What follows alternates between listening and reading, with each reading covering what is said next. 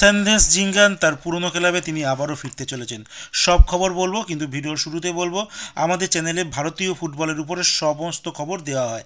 যদি চ্যানেলটি ভালো লেগে থাকে, তো চ্যানেলটি অত অবশ্যই তোমরা সাবস্ক্রাইব করে নিও। তো চলো শুরু করছি আজকের প্রথম খবর। প্রথম খবরটি হচ্ছে ইস্ট বেঙ্গল টিম নিয়ে। ইস্ট বেঙ্গল টিমের এখনও অবধি কিন্তু কোনো ফরেন প্লেয়ারকে তারা এই জানুয়ারি ট্রান্সফার উইন্ডোতে সাইন করাতে পারেনি। ইস্ট বেঙ্গল কর্তা দেবব্রত সরকার, তিনি একটি ইন্টারভিউতে জানিয়েছেন এখনও অবধি ইমামি ম্যানেজমেন্টের সঙ্গে ইস্ট বেঙ্গলের কর্তাদের কোনো মিটিং হয়নি। আর আজ হয়ে গেল পাঁচ তারিখ। সামনে ন তারিখ থেকেই ইস্টবেঙ্গলের সুপার কাপের যাত্রা শুরু হবে।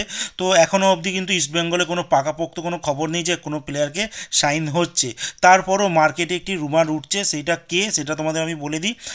তার নাম হচ্ছে আর্জেন্টিনার একজন খেলোয়াড়, পঁচিশ বছর বয়স সেন্ট্রাল মিডফিল্ডার যার নাম জেরোনিমো ক্যাসিয়াবু যিনি বর্তমানে লোনে পোল্যান্ডে সেকেন্ড টায়ারই মানে সেকেন্ড টায়ার যে লিগ হয়, সেখানে একটি ক্লাব যার নাম মেচ লেকনিকা সেই ক্লাবে খেলে। তো আপাতত এটা রুমারই বলতে পারো এখনও অবধি কিন্তু কনফার্ম নিউজ নয়। এর পরের যে খবরটি, সেটাও ইস্টবেঙ্গলকে নিয়ে। ইস্টবেঙ্গল যারা আই লিগের আইজল এফসির একজন তেইশ বছর বয়সী অ্যাটাকিং খেলোয়াড়ের উপরে নজর আছে কার্লোস কোয়ারদার, তিনি তিনি কিন্তু তাকে প্রবলভাবেই চাইছে। যার নাম লাল রিন জুয়ালা লাল বিকিনিয়া তো নামটা একটু কঠিন আছে। তো দেখা যাক, এই প্লেয়ারটির উপরে ইস্টবেঙ্গল টিম কিন্তু মরশুমের শুরুর দিকেও চাইছিল, তখন আসেনি। আর এইবার আসে কিনা, সেটা দেখার। এরপর চলে যাচ্ছি মোহনবাগান টিমের কথা।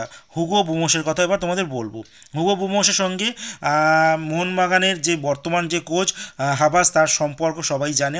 এর মধ্যে সবাই একটা গুঞ্জন শোনা যাচ্ছে হুগো বুমোসকে হতে পারে মোহনবাগান সুপার জাইন তারা ছেড়ে দেবে। তো তোমাদের বলে রাখি এই সম্ভাবনাটা কিন্তু ক্ষীণ। হুগো বুমোসের সঙ্গে, এর আগেও তিনি যখন লোবেরার সঙ্গে আন্ডারে খেলেছিলেন, সেই সময়ও কিন্তু তার সঙ্গে কোচের সম্পর্ক ভালো ছিল না। লাস্ট ইয়ারের ফাইনালে জুয়ান ফেরান্দোর সঙ্গেও কিন্তু তার সম্পর্ক খুব একটা ভালো ছিল না।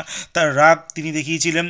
আর যে এখন বর্তমানে কোচ আছে হাবাস, তার সঙ্গেও সম্পর্ক খারাপ। তো আলটিমেট সবার সঙ্গেই কিন্তু তার সম্পর্ক মোটামুটি খারাপ। তো অনেক দিন ব্যাপার হয়ে গেছে। হতে পারে তিনি এইবার সব কিছু ভুলে আবার নতুন করে শুরু করতে পারে।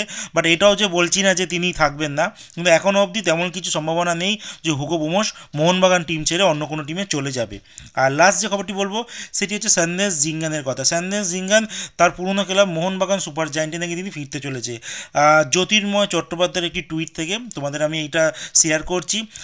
তার টুইটে এখানে উল্লেখ করা হয়েছে যে, জাতীয় দলের একজন নির্ভরযোগ্য একজন খেলোয়াড়, যে কিনা মোহনবাগানের প্রাক্তন খেলোয়াড় ছিল, তো সেই প্লেয়ারটি নাকি রিটার্ন আসতে চলেছে। তো সম্ভবত তীর যাচ্ছে সন্দেশ ঝিঙ্গানের দিকেই। আর দেখা যাক কী হয়, যদি হয় তো ভালো, মোহনবাগানের ডিফেন্সের ক্ষেত্রে খুবই ভালো হবে। আনোয়ার আলী আর সঙ্গে সন্দেশ জিঙ্গাম তো খুব শক্তভক্ত একটা ডিফেন্স কিন্তু মোহনবাগান সুপার জায়েন্টে আমরা দেখতে পাবো।